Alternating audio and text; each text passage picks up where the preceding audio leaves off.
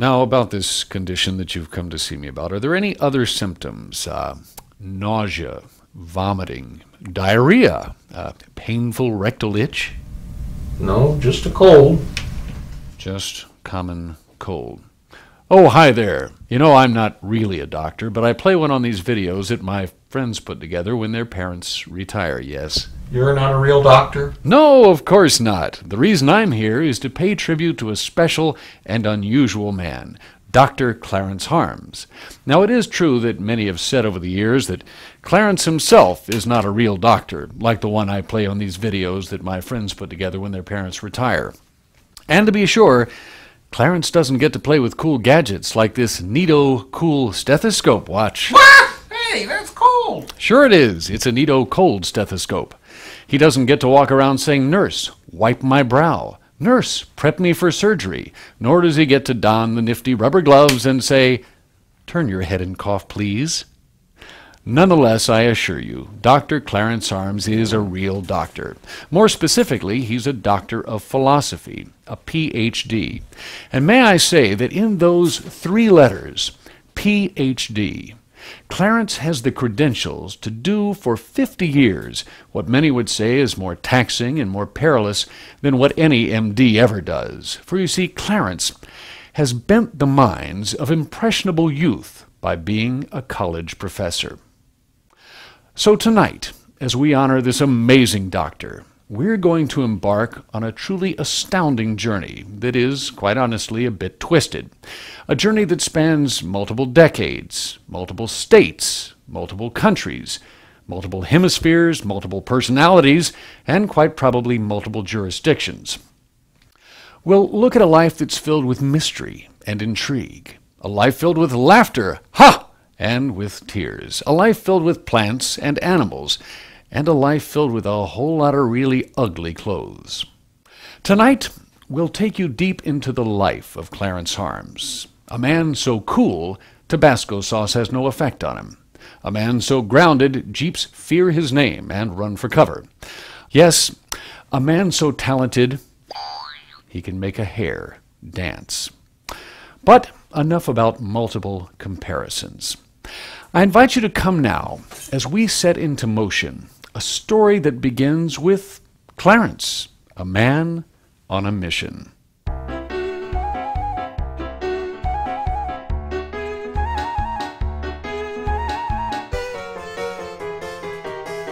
Dr. Clarence Eugene Harms was born in Ulysses, Kansas on a cold January day in 1934 on a small farm that he helped his father build.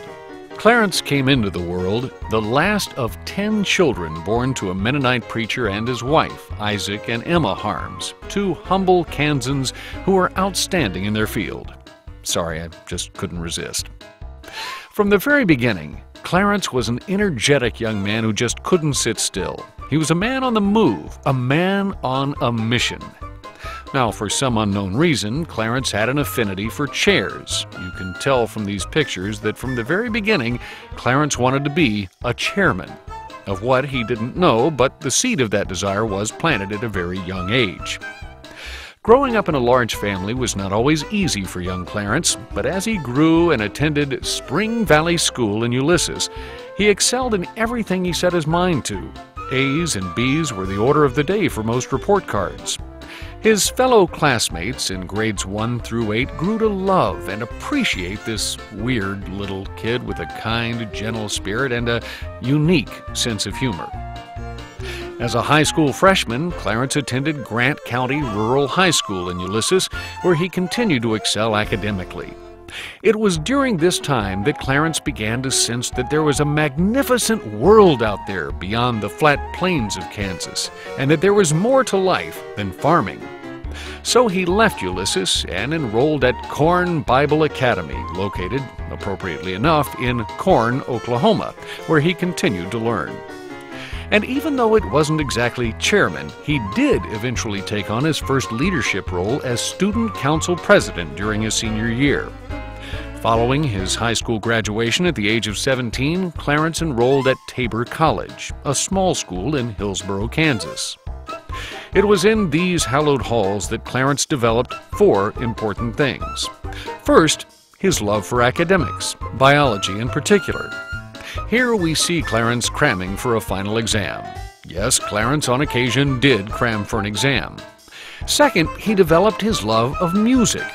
Here we find Clarence as part of a quartet, which later went through mitosis and turned into an octet. Third, Clarence developed his rather warped sense of humor. Oh, here's a good example. Yes, that's Clarence and a friend trying to answer the age old question why did the chicken cross the road? Not sure they found the answer to that one, but they did manage to back up traffic for miles. The fourth thing that Clarence developed during his stay at Tabor was his love for a certain attractive young lady, Mary Ann Wall. Now, Mary Ann was born in Nebraska, grew up in Oregon, and was the youngest of six children, born to Peter and Elizabeth Wall. Mary Ann was a talented woman who loved the violin. Rumor has it that after they met in college, she fiddled while Clarence learned. Sorry. Clarence determined that Mary Ann would make the perfect wife. So on December 6, 1953, Clarence popped the age old question. And after a short stint in the Marion County Jail, Clarence and Mary Ann were married on August 10, 1954. Okay, let's stop right here because I suppose many of you are wondering about that short stint in jail, right? Well, I'll let Clarence explain. Well, here was the scoop. Uh, we were engaged, uh, proposed, she got the ring, and so forth, and then um, uh, she went back to her dorm. I went to my dorm. She announced her engagement, showed off the ring, and they called somebody in my dorm, and uh, they pulled me out and they pulled her out into the street. Uh, somebody found a wheelbarrow, and we had a parade in the middle of the night going downtown Hillsboro and all all of this in fun. I mean, a lot of hilarity, a lot of uh, a lot of noise, I'm sure. And so some of the residents there called the police. So we went down to the city hall type place, and there was a one room lockup that they had. And so he put us in, all in good jest. He put us into the jail cell for maybe 10 minutes. Then he opened the door and everybody went home. And uh, the only real funny part of that was that in the college paper, someone had uh, written a letter to the editor uh, saying that this kind of thing was not acceptable. It gave the school a bad name and it was uh, off the wall. So, in that way, we were rebels in our time. That's his story, and he's sticking to it. Now, back to our story. After a breathtaking honeymoon in Canada and the Pacific Northwest, it was time to fix up their first apartment and get to work. Mary Ann took a job as a teacher at Finch School in Hillsboro, where she taught grades K through 12. It was a magical time. Just like in the famous musical, she sewed silly shirts for her students out of really ugly drapes and encouraged them to run around the Kansas mountains singing about raindrops on roses and whiskers on kittens but that's another story. It was also a resourceful time as Mary Ann later used those same shirts as fuel to heat the school during the winter. All the while, Clarence continued his biological studies and finally received his undergraduate degree in 1955. It was then off to the University of Kansas, where Mary Ann took a job in the university library, and where Clarence earned his master's degree in 1957. Now, you can tell by his smile and by her attire that studying and working in the library were obviously not the only things Clarence and Mary Ann did during this time, because shortly after graduation, little Douglas arrived on the scene. And from that point on, every couple of years or so, little Harmses started popping up everywhere. There was Duane in 1958, David in 1962, followed by Danette in 1965, and finally Debbie in 1969. Clarence put his life into his work during this time, landing his first teaching job back at Tabor College, finishing up his doctorate degree at the University of Minnesota, and then, although he still wasn't the chairman, becoming the acting dean back at Tabor College. Although these were busy times for Clarence, what with teaching and all, and doing all sorts of really cool fruit fly research, he always seemed to find time for his growing family. Why, even the role of Cub Scout Cubmaster of Pack 129 was not beneath him. Then, in 1969, a most amazing thing happened. Clarence was finally given the opportunity to fulfill his lifelong dream of becoming chairman of something. Not only was he offered the Associate Professor of Biology position at Westminster College, a small liberal arts school nestled in the hills of western Pennsylvania, more importantly, the position carried with it the chairmanship of the school's biology department. Yes, it was a dream come true. So, in hopes of making a better life for his poor, shirtless, destitute family, Clarence packed his wife, kids, and all their earthly belongings into a U Haul trailer, loaded up the old Plymouth Fury 3, and headed north to New Wilmington, PA 16142. Because, as we all know, that's where they raise the good guys.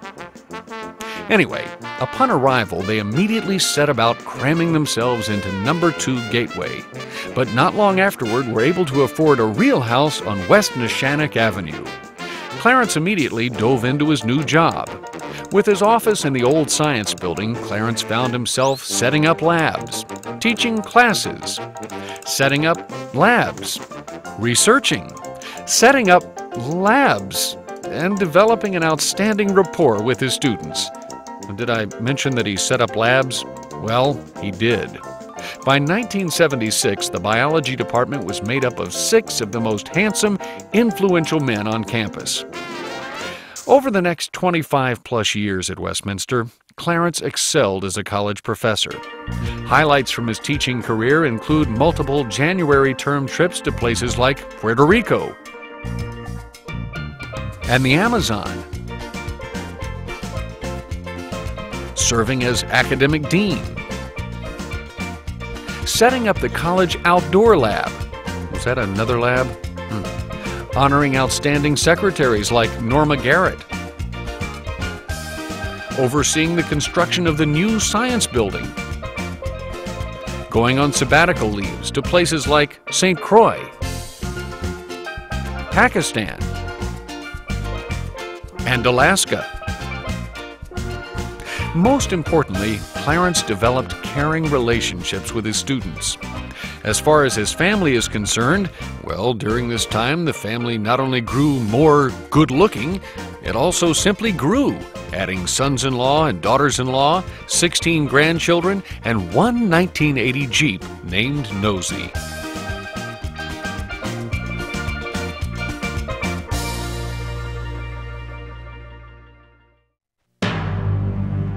Now it's time for Where's Clarence?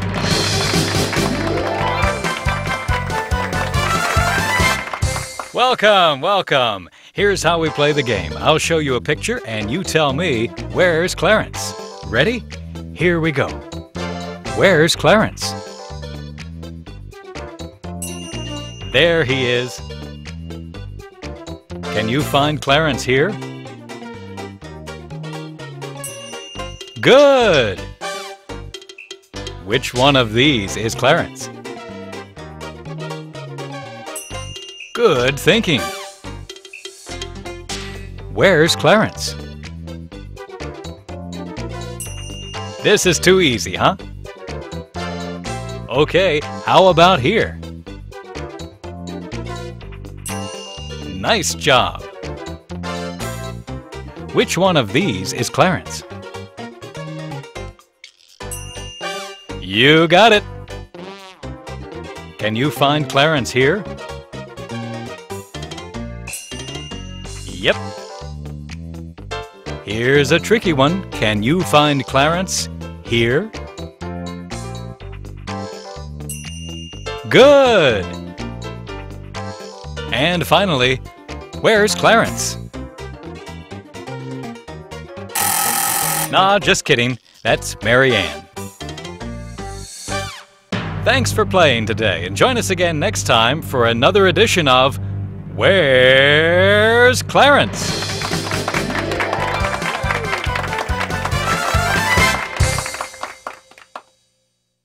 Okay, Let me tell you more now about Nosy.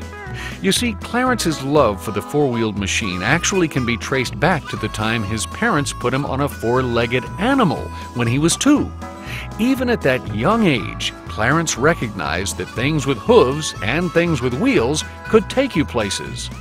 From driving his first car at age 14 to driving the old Model T Ford, Clarence realized that sitting behind the wheel was a really cool way to get around.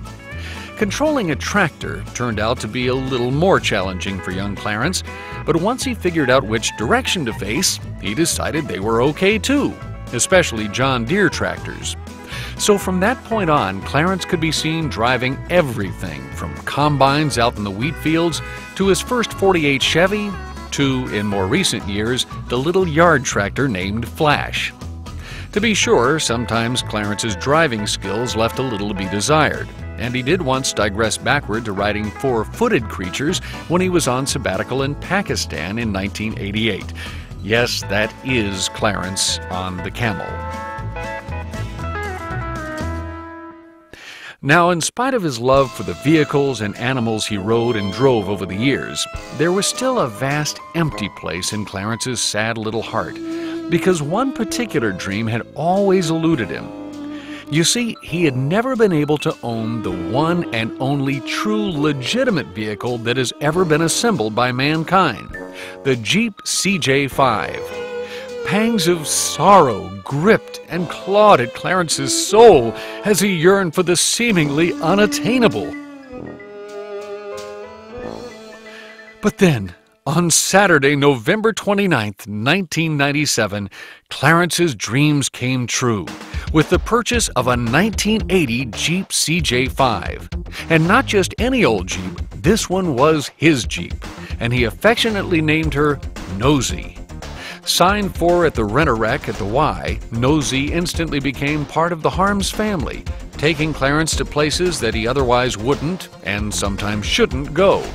In fact, something few people know about until this very moment is that at precisely 10 p.m. on Saturday, May 16, 2003, on the night of his final commencement exercises as a faculty member of Westminster, Clarence donned his finest commencement regalia, and under the cloak of darkness, he and Nosy took off through the quad in a final brazen act of mischief. After all, if he was caught, what was the administration going to do? Fire him? I think not.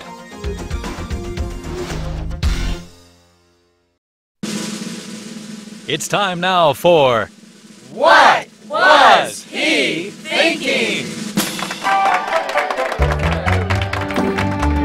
Thank you and welcome. Well, first we'll look inside Clarence's mind to find out what he was thinking. Then we'll show you when he thought it. Now, here's what Clarence was thinking. So what if I'm only four? I'm still groovy. Yeah, baby.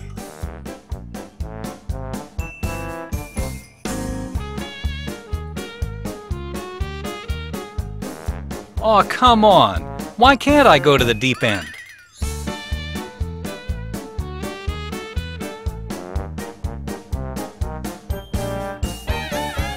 Who is this lady and why is she holding my hand?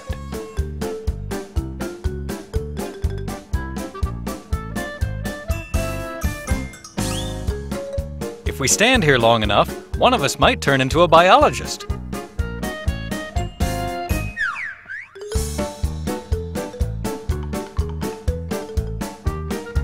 Fruit flies fear me, women want me.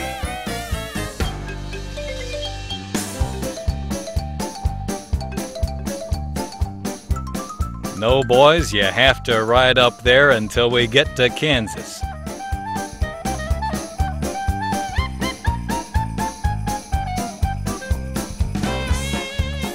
Boys, this is interesting. I just nailed my finger to the ceiling.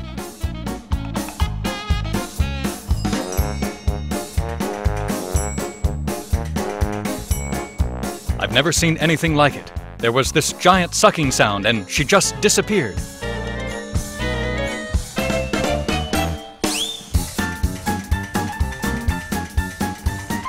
Now, I could be wrong, but I think you blow through the small end. would you believe, the big end. Well, one thing's for sure they'll never come up with a caption for this one.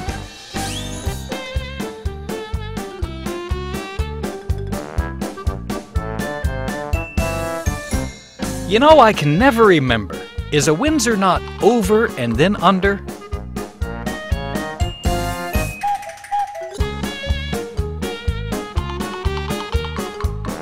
I kept telling them limbo was just not my thing. But would they listen? No!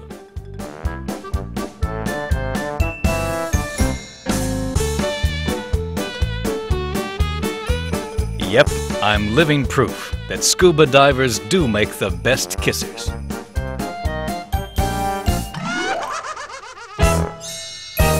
That's all the time we have today, so be sure to join us again next time for What Was He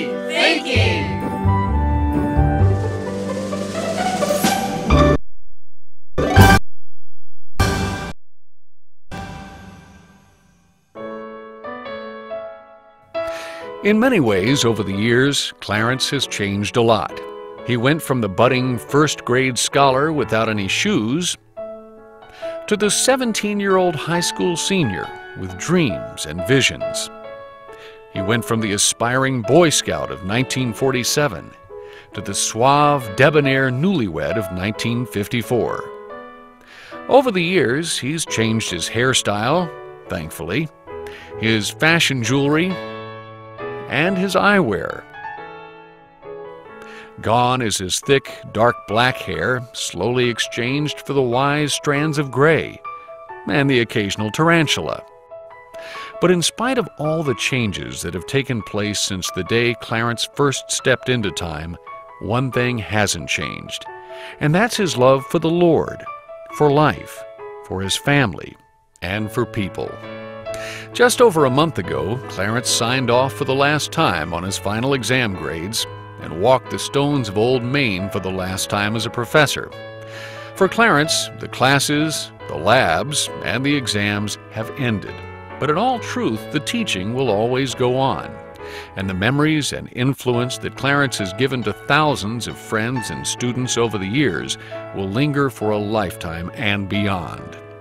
Tonight, we honor Dr. Clarence Harms, a man whose love for life will never really allow him to retire and who will continue to bring laughter and love to the hearts of those who have the honor of knowing him.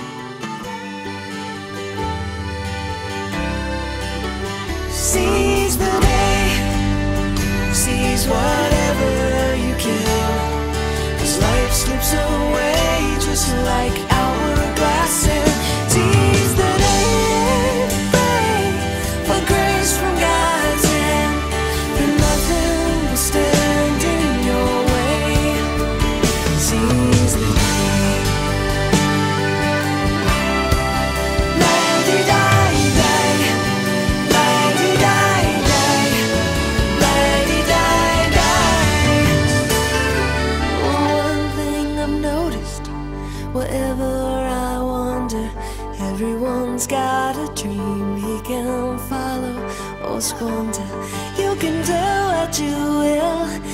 the days you are given. I'm trying to spend.